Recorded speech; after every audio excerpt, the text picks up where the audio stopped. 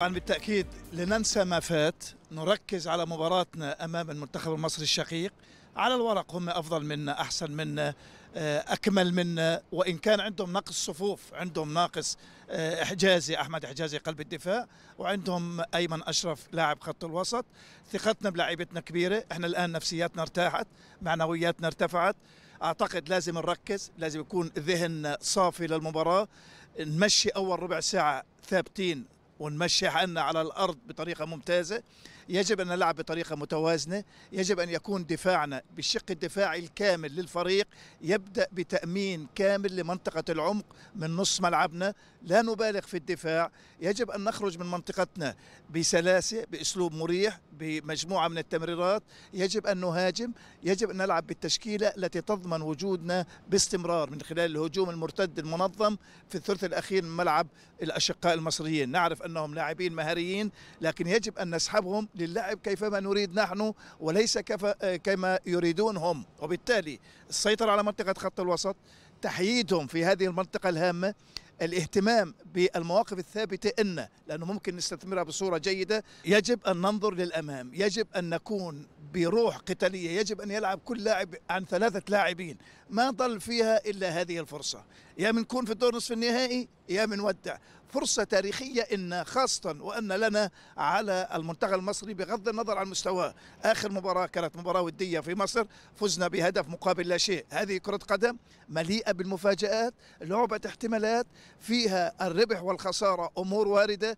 نظام الكؤوس تتطلب منا أن نقاتل من أول لحظة بضرورة التركيز بضرورة الوجود بزيادة عددية دوما في مكان تواجد الكرة. خلينا أولا آه، نحط بعض النقاط على الحروف. هذا المنتخب وغيره من منتخباتنا الرياضية هو منتخبنا والأردن هذا وطننا. هذول لاعبين أبنائنا ويجب دائما وأن نكون خلفهم في السراء وفي الضراء. أكيد آه، في الرياضة الأردنية بشكل عام بكرة القدم بشكل خاص في في عقبات وفي صعوبات وفي كبوات. لأنه بصراحة في الأردن لسه ما وصلنا إلى المرحلة القصوى من من النجاعة الرياضية خاصة على مستوى النتائج. المباراة القادمة أمام المنتخب المصري صعبة بكل ظروفها. المعطيات تبدو معقدة نوعا ما. نحن بنلعب مع واحد من أفضل المنتخبات في البطولة والمرشح للفوز بلقبها.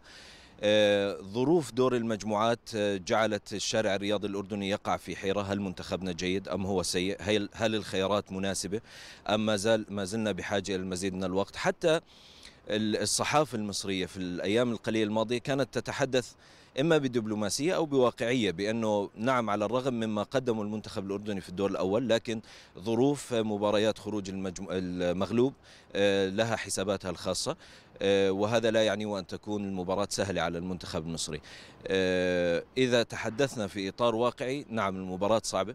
المنتخب المصري يتفوق تاريخيا ويتفوق بالعناصر وبالخبرة وبالإمكانيات بتواجده الأخير في بطولة كأس العالم في روسيا.